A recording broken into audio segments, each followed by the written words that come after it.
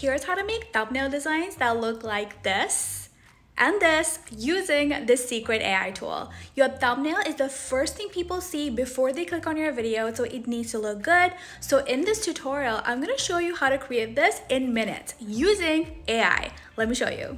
Head over to playground.com. This is my go-to design tool for creating digital products and social media graphics for commercial use. Now click on start new design. Next, let's go ahead and resize this canvas. So click on resize and then select 16 by 9 because we're creating a video thumbnail. You can also change the color of the background if you like or generate one using AI with simple prompts. You can add a reference image if you like or choose the AI model from here. I'm going to go with the GPT-4 model and here's my prompt. I want to create an image of an aesthetic home office background and boom, I have the perfect background on my first try. Oh my gosh, that's so cool. Now let's go and add our text. The best part about Playground is that it's an all-in-one tool so you can customize whatever you like. Let's go ahead and change the font style. I'm going to go with this, resize it to make it a little bit bigger and then change the color, let's say to white. Perfect. Now let's duplicate the text. Click duplicate down here.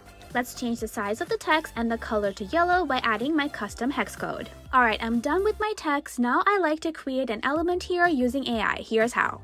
Click create an image, select without background, so no background. Now type your prompt with your color hex code. Next click the arrow to generate and voila, I have the perfect custom element generated with AI. How cool is that? Now click import image to add an image of yourself to the thumbnail and resize it by dragging the image from the corners like this. Now if you want to edit the positioning of the different layers, for an example, I want this element in front, click on your image, reorder, and then send it to the back. And look how amazing it turned out. It's completely custom to me and it took me seconds to create it using AI. Once you're happy with your design, you can click export. But let's say you have a faceless channel and you don't want to add your own image. Don't worry, Playground can create one for you. Just give it a simple prompt like this and boom, there you have it. You can generate hyper-realistic images like this in seconds to add to your thumbnails. Once you're happy with your design, click export and then download your thumbnail. And if you don't know where to start with your thumbnail, no worries. Playground has over 50,000 design templates to choose from. Let's go with this one. Now let's remove the text and the subject. Now let's add an image of myself. Next, let's create a custom image with a text effect. And look at this final result. And it only took me seconds to create thumbnails like this. So if you overthink your video thumbnails like me, or you simply want to create better social media graphics for your business,